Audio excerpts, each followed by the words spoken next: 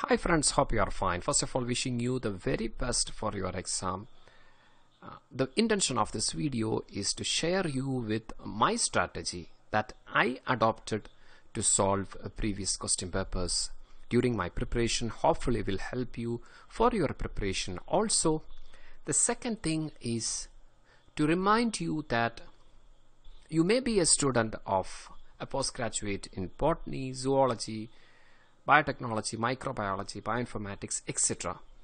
For this exam, that doesn't matter at all. You are a life science student. We need to have the basic understanding of all these disciplines. And we know the basics of all these disciplines up to the degree level. That will definitely help you in attempting 10 to 15 questions extra that extra questions will give you the opportunity to qualify this exam. Let's begin. This is a very basic question. Which one of the following plants has this combination of key plant traits? Sporophyte dominant in life cycle, vascular tissue, lack of seeds. Options are 1 mosses, 2 ferns, 3 cycads, and 4 monocots. This is a question that can be attempted by all postgraduates of life sciences. I will give you 5 seconds to make a guess. Okay, fine. First of all, let us visualize this. So this is the moss, this is the fern, this is the cycad and this is a monocot.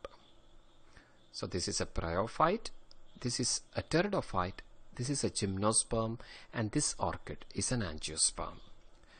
Now let us take the question. Sporophyte dominant in life cycle. This bryophyte doesn't have dominant sporophytic life cycle, therefore it's not the answer. Then pteridophyte are having dominant life cycle. These three options still remains. Vascular tissue present, all are having from pteridophyte onwards, all higher groups are having vasculature that is xylem and phloem, lack of seeds. These two, this gymnosperm and angiosperm, both are having seeds. Therefore, the answer is the pteridophyte that is ferns. Question number two. Vascular wilts are widespread and destructive plant diseases. The symptoms of this disease are primarily caused by the clogging of options are first one xylem vessels, B phloem vessels, 3 stomata and 4 hydathodes. Your 5 seconds. Okay, fine. The answer is xylem vessels. Then what about the other options? We need to work out other options also. So this is the xylem wall. You can see the tylosis, balloon-like outgrowths that is arising from the xylem wall, inner xylem wall. Then you can see these fungal spores, this hyphae actually clogging these vessels, preventing the water movement, ultimately causing vascular wilts. That's why it is called as vascular wilt. While working out question papers, we need to look into other options also. That might be the possible question next time. So what about the stomata, hydathodes, etc.? These are all natural openings through which these pathogens enter. Stomata is meant for gaseous exchange. During photosynthesis, this then pathogen can enter through wound. Then hydathode is water stomata. That means classical example is we all might have seen the water droplets at the vein endings of grass in the morning. Morning dew, that is called the water stomata. Loss of water in the form of liquid drops.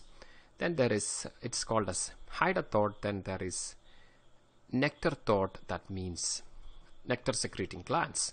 All are natural openings through which these pathogens can enter. Then what about this phloem vessels? Is there any disease that is associated with phloem vessels?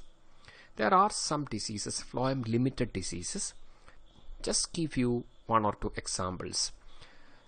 This candidate is Leberibacter, that is a bacteria that causes citrus greening, potato leaf roll virus, that is causing potato leaf roll disease. All are phloem vessel associated diseases. This is the methodology that I adopted while working out previous question papers. Looking into the options and finding questions from each options.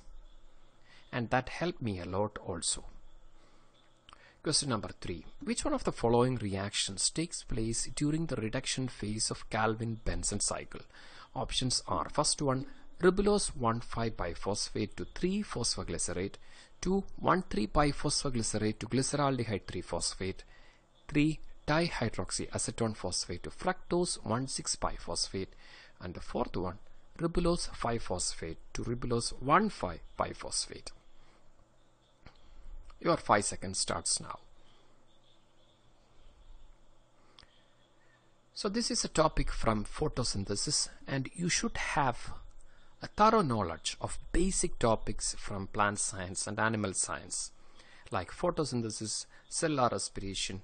You can expect at least 3 to 5 questions from this topic. The answer is 1,3-biphosphoglycerate is converted to glyceraldehyde 3-phosphate where the reduction happens. Let's have a quick look into Calvin cycle as this is a very important topic. Just to give you a glimpse of how to go through this topic at a fast pace. So as you see this is photosynthesis. Carbon dioxide combines with water forming glucose with the release of oxygen. Oxygen is a result of photolysis of water. Then this carbon dioxide enters Calvin cycle. It combines with RUBP which is a primary carbon dioxide acceptor and forms a short-lived intermediate. The first stable product in C3 cycle or Calvin cycle is 3-phosphoglycerate. That means 3-phosphoglyceric acid. Both are same. Then this is phosphorylated.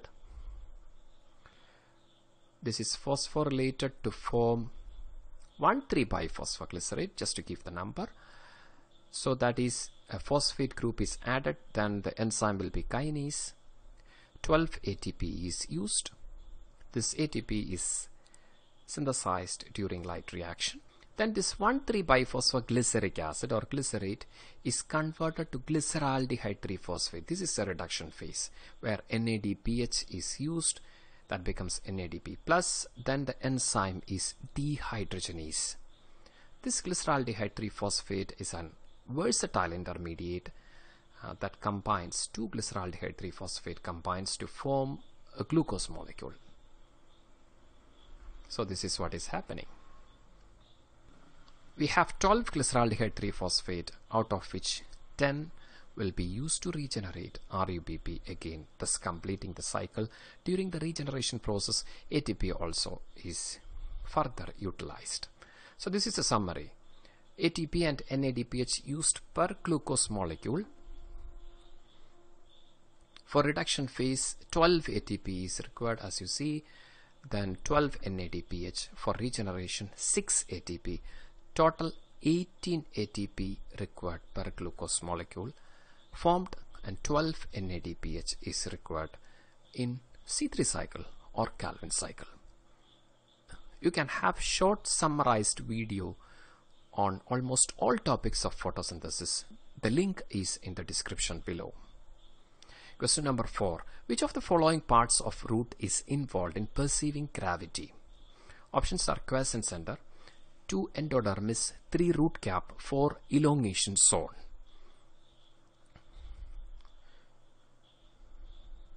Your 5 seconds. Okay, fine. Answer is root cap. This is actually an experiment conducted by Charles Darwin. So as you see this is a root cap. Uh, there is a meristematic region. Then this root cap is having a special type of cell which is called as columella cells that is actually responsible for perceiving gravity. So next time this may be the question. So you have to understand a little bit more from that given options. So there are amyloplast also. Then what about other options? This is a quiescent center. As you see, quiescent center is a region of inactive cells that is seen between root cap and this meristematic region of uh, this root. Uh, so this quiescent center is believed to be involved in replacing damaged initials of the root cap. And the next is this endodermis. As you see, so this is the endodermis. The vasculature is surrounded by a single layer of cell which is called as endodermis which is having this thickening a specialized type of thickening that is made up of lignin which is called as Casparian strips. So the pathway the movement of water the movement of water through this cell wall spaces is called as apoplastic route and the movement of molecules through this plasmodesmata within the cell crossing the cell is called a symplastic pathway actually this Casparian strips blocks this apoplastic route also forces this symplastic route to takes place actually filtering the content reaching this vasculature or xylem vessel. So I have given a brief description so you can learn like this linking many things together so that if you are getting a question related to this second time definitely you can remember the answer from the options. Question number 5. Which one of the following plants has a bisporic 8 nucleate bipolar embryosac development? Options are first one Oenothera, 2 Penaea, 3 Plumbago and 4 Allium.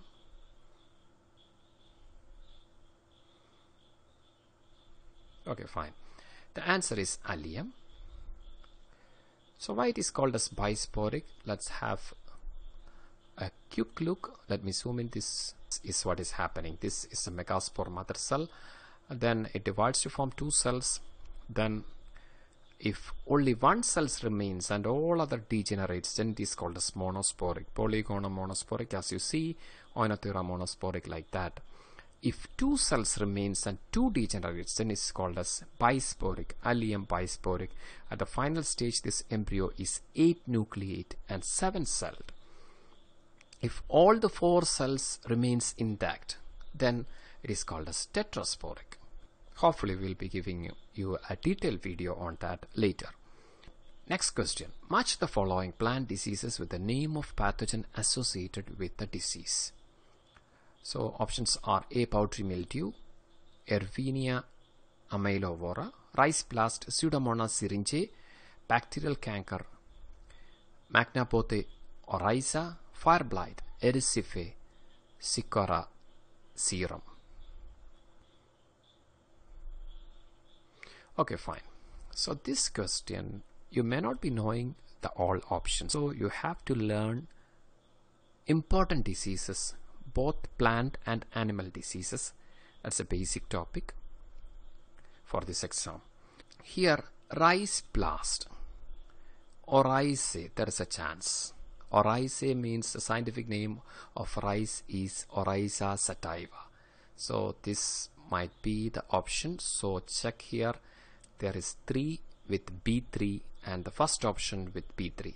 So you have 50-50 chance. Then fire blight. This is very common. Erwinia.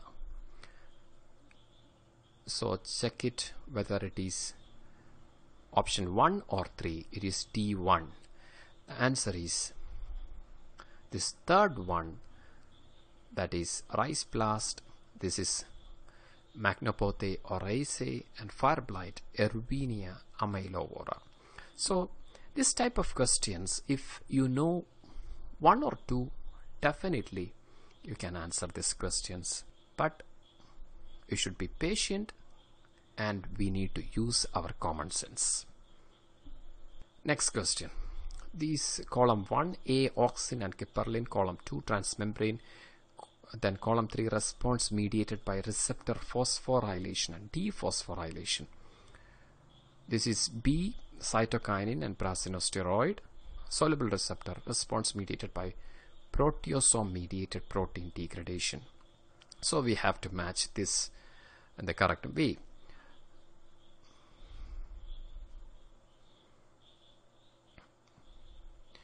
Plant hormones animal hormones and receptors very important topic.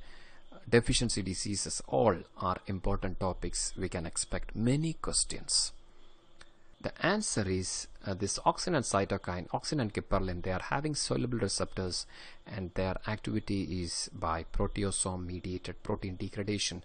So the answer is AB2, AB2 and B A B8 it's tra having transmembrane receptor then response mediated by phosphorylation and dephosphorylation.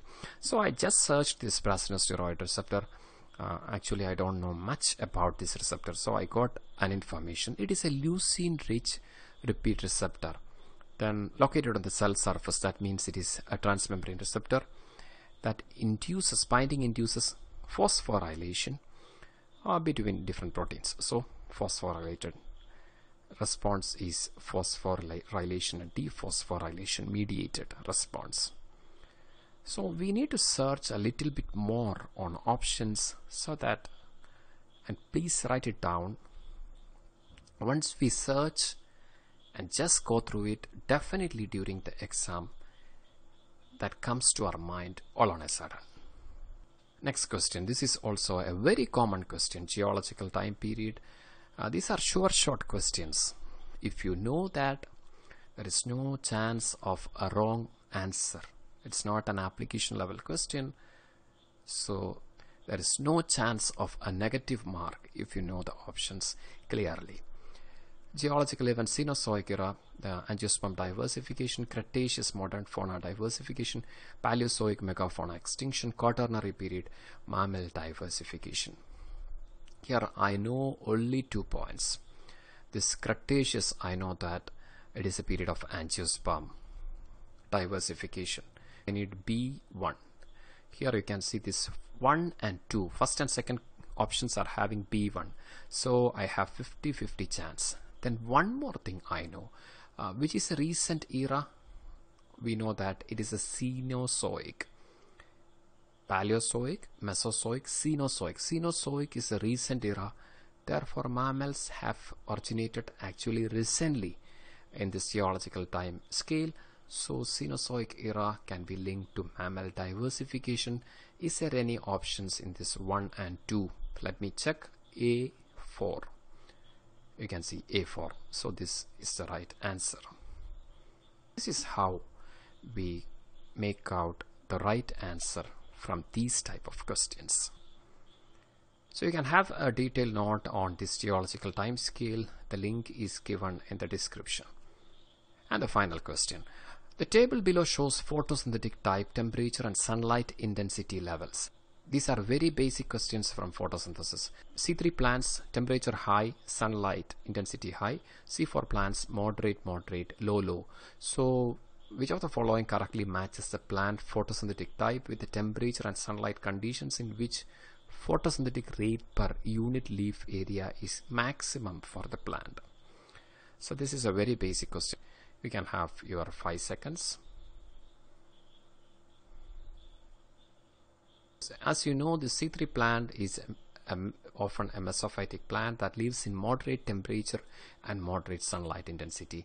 So this A2Q so this is the option the only one A2Q then C4 plant that can tolerate 40 plus degrees it can have high temperature then high sunlight intensity. So C for B I B. So this is the option. So these are very simple question. This is from part C. So you will be getting huge bonus marks if you answer this question. Even though question is a little bit descriptive actually if you read it with the right mindset it's a very simple question. Hope this video is beneficial for your preparation. If you find this video useful, you can subscribe our channel. Thank you so much for your support. You are with biologyexams4u.com. Wishing you the very best for your exam and also for your life.